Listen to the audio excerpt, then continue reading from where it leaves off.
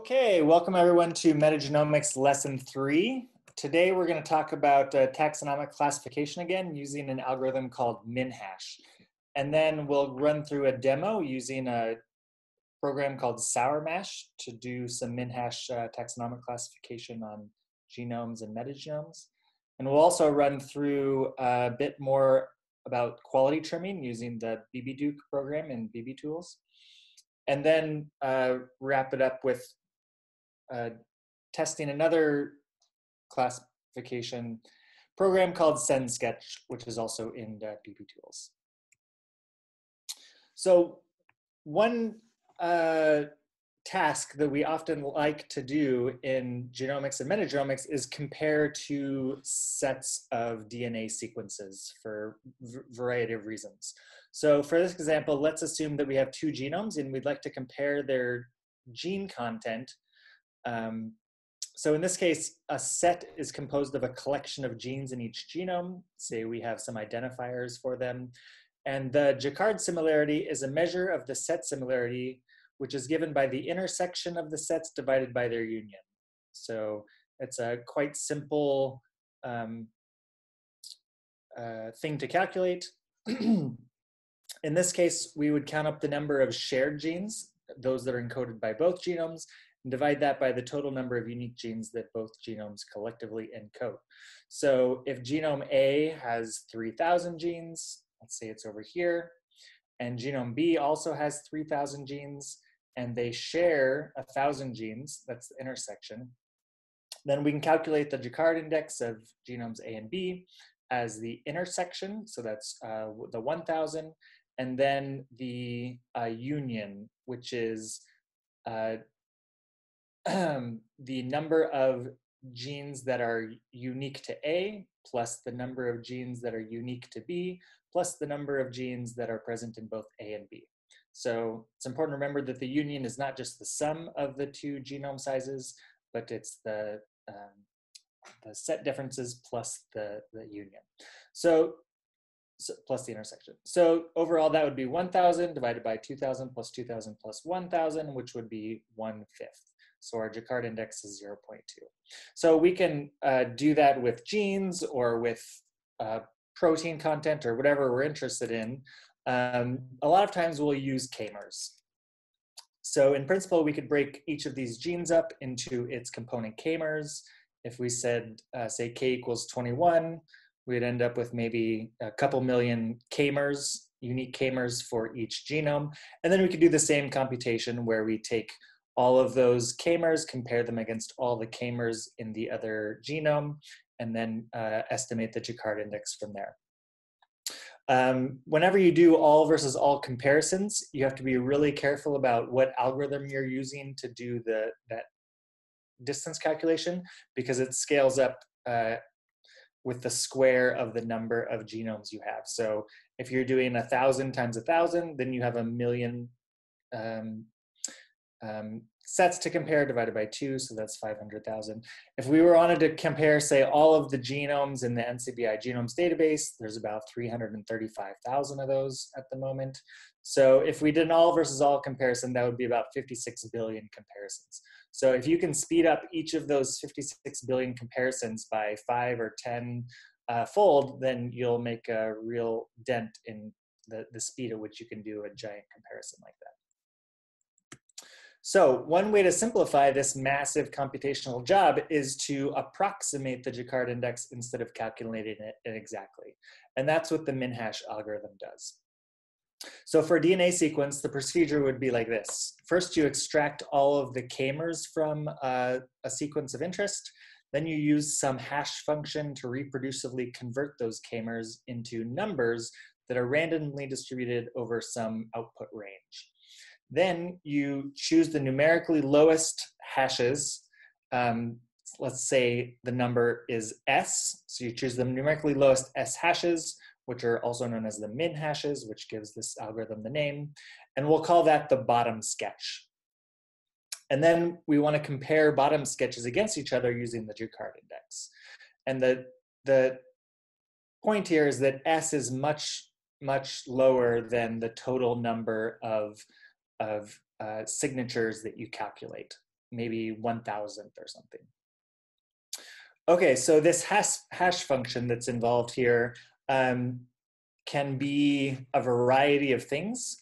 Um, here's an example of a bad hash function um, where we would take a string of bases, say this one here, we would do some substitutions, say substitute zero for A and T and one for C and G, and we get this number here.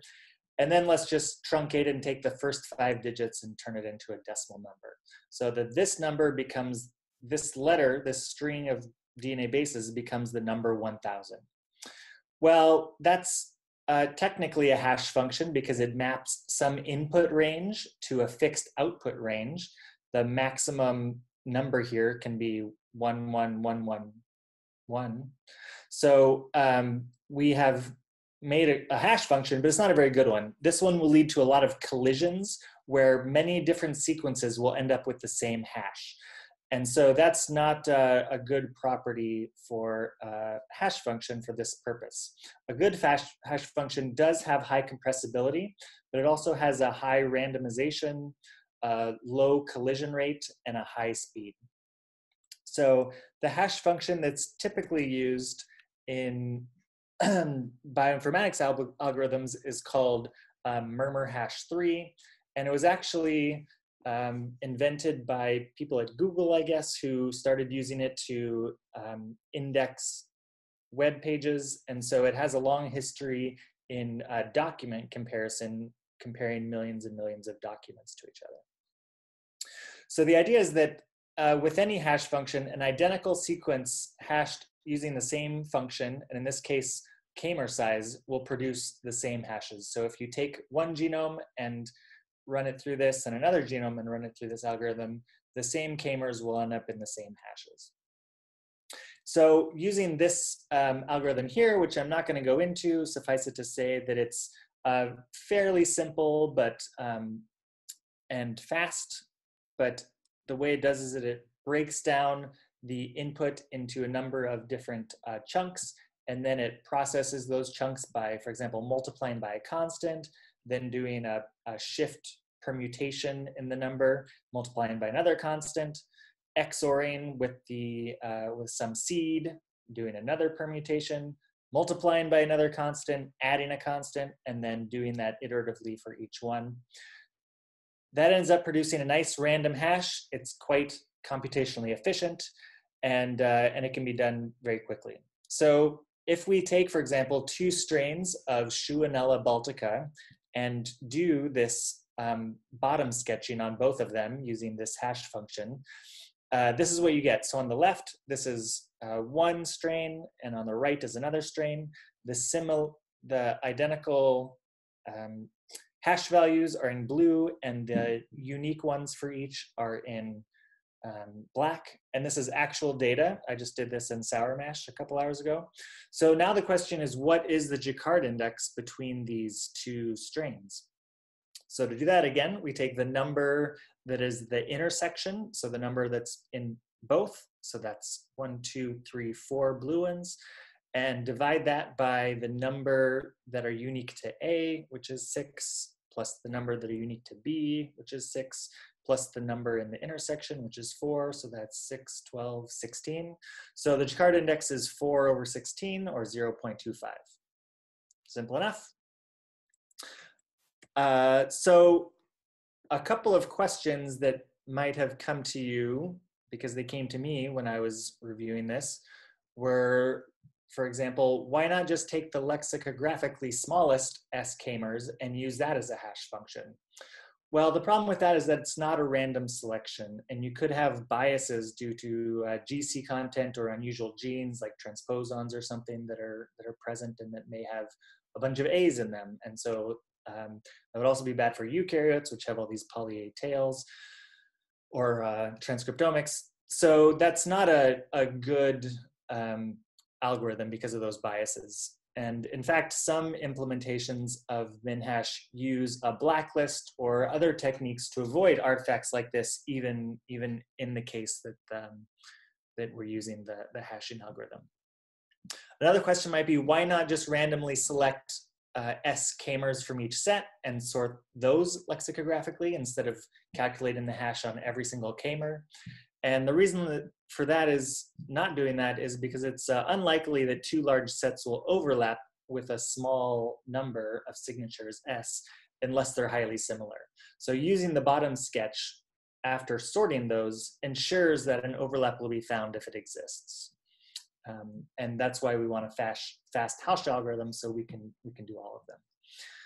Um, another question might be, how many signatures do you need to get a good approximation of the Jaccard index? And uh, that can be calculated using the, an expected error rate of one over the square root of S, the number of signatures. So uh, if, for example, you use 400 signatures, you would have an expected error rate of about 0.05. Um, typically, programs will use an error, or not an error rate, but a, a signature number S of uh, thousands, probably. So the, the error rate should be quite low in those cases. So another way that um, some of these programs make the computation faster, and these are widely used across bioinformatics actually, is a, a technique called a Bloom filter. So this is named after a guy who invented this in the 70s, Burton Howard Bloom. And the main goal of a Bloom filter is to test whether an element is a part of a set. And it does this by trading a large memory footprint for speed. So um, it takes something that you could do uh, on the CPU and, and makes it so that it's easier to put into memory um, and compare things there. So tasks that are often used in metagenomics that uh, are helped with a Bloom filter are things like rejecting singletons or k-mers that contain errors. And we'll, we'll go through this and, and I'll show you how that works. So a Bloom filter is fairly simple. It's described by two parameters. The first one, m, is the length of the filter. So for example, we might take uh, 2 to the 31 bits, that's about 2 gigabytes or something, and initialize that array to all zeros. Then we have some number of hash functions n, which is much smaller than m, that each produce a hash in the range of the filter. So this hash will take in a k-mer and output a hash in the range, or a number in the range of 1 to 2 to the 31 in this case. So uh, up on the upper right is an example of what this might look like. You have an array here of zeros and ones. Here we hash the number x using some hash function, and it gives us uh, the number 2, the number 5, and the number 12, something like this. Then we hash y, and it gives us some numbers in purple here, or in red, and then we hash z, and it gives us these purple numbers. And so the Bloom filter is built up by aggregating all of these all of these hashed values into one long, very long array.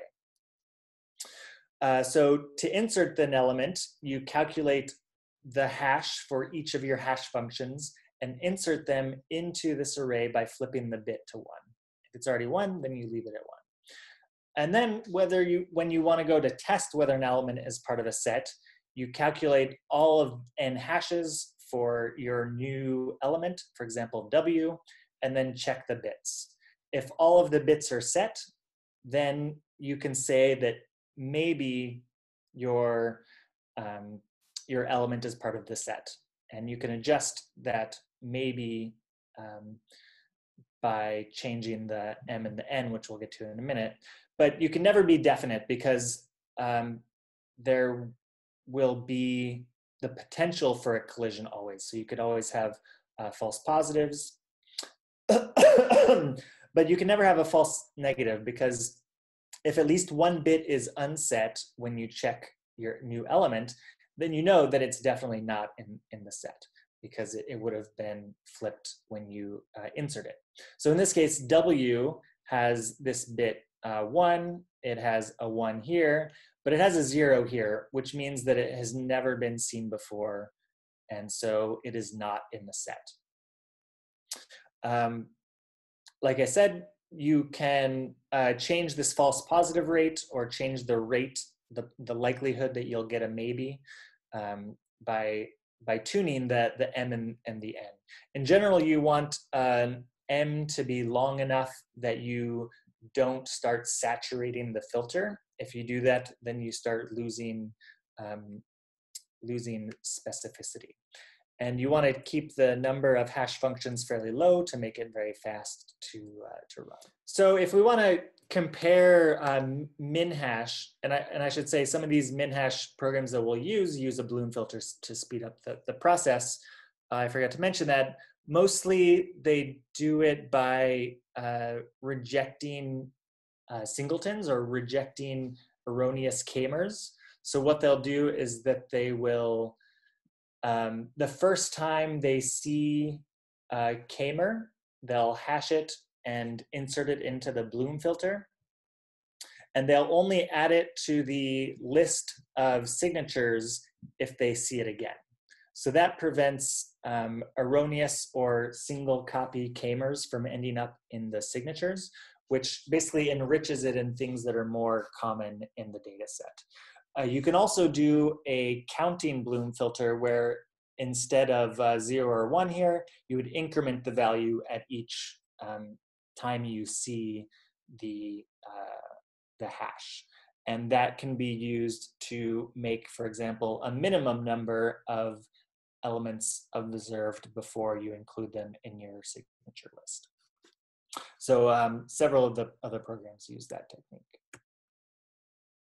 So if we want to compare MinHash to uh, some other techniques for looking at the similarity between genomes, we can compare that to the average nucleotide identity, which is a method that's very often used to compare the similarity between the core parts of the genomes. So that's a technique where you, for example, take all the reciprocal best blast hits between two genomes, then you compare the nucleotide identity between those RBHs, and uh, that gives you a, a, similarity score called the ANI. So uh, in this 2016 paper, by the authors of the program MASH, which implements MinHash uh, for bioinformatics. Ondov et al. used uh, E. coli genomes to test the relationship between the uh, MinHash distance and the ANI distance. And you can see that these are all pretty much uh, linear. They have a nice regression coefficient. Um, if you increase S, the number of signatures, you can decrease that error. And um, you can also adjust it based on the k-mer length. So shorter k-mers will allow you to detect things that are farther apart distance-wise, uh, evolutionarily distance-wise. While if you increase the length of the k-mer, then you start having fewer and fewer matches as you have uh, increasing phylogenetic distance. So the same principle applies for metagenomes. You can do a MinHash on a metagenome. Uh, the figure on the right here is an example that I made. So I got a bunch of genome metagenomes from seawater in the Chukchi Sea, and I compared those to a bunch of metagenomes from the Tara Oceans database and some other metagenomes we have. And you can see uh, in colored dots on this heat map, we have the uh, Jaccard index. So uh, the brighter it is, the more similar the metagenomes are. So you can see my Sea metagenomes cluster together and these Tara Ocean genomes uh, cluster separately. So you can do that just to compare the, the data sets without any taxonomic classification at all. But a lot of the programs are also set up so that you can compare them to a, a database, a taxonomically identified database similar to what we saw with Kraken, um, so that you can taxonomically identify the organisms that show up in your metagenomes. So SourMash, for example, has um, some databases that are built and available to download uh, to use in metagenome classification. One of them has 60,000 RefSeq microbial genomes in it.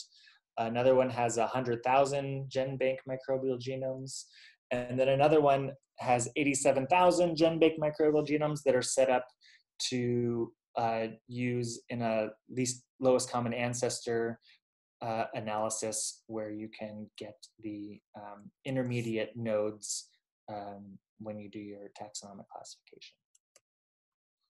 So here are some of the MinHash implementations that are out there that I know of. Uh, there might be others um, that you might find. Uh, I think these are pretty much the most popular. Uh, MASH was the original one, as far as I know.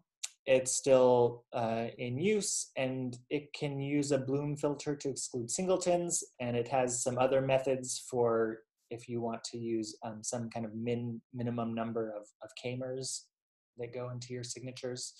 Um, MASH is also implemented online at the PATRIC Similar Genome Finder. So you can upload your genome there and it'll run MASH on it and find the most similar genomes in PATRIC and spit them out for you. Uh, Sour Mash is written by um, uh, Titus Brown's group, and it also uses a Bloom filter with counting so you can choose a minimum k-mer count to include. It also uses a scaled S rather than a static S. So this takes into account the diversity of k-mers that you see and takes a proportion of those rather than an absolute number. Uh, it can generate some figures and we'll do that when we do the Sour Mash demo. And it also has a, a tool to do lowest common ancestor taxonomic classification. BB Sketch is a member of the BB Tools package. It can also use a minimum k-mer count. It can also use a scaled S. Uh, it also includes some blacklists that block out um, hashes that are due to, for example, uh, Illumina adapters or things that are in the database that are wrong, stuff like that. Uh, it also does LCA taxonomic classification. And then there's one called Finch, which claims to be very fast compared to the other ones, although there's all pretty fast. So uh, speed isn't maybe the most important comparator here. Um, again, it uses a Bloom filter to, for the minimum k-mer count, and you can find it on GitHub. Okay, there's some resources. And we're gonna move on now to the demo where we're gonna try out Sour Mash, BBDuk, and Send Sketch in the binder environment.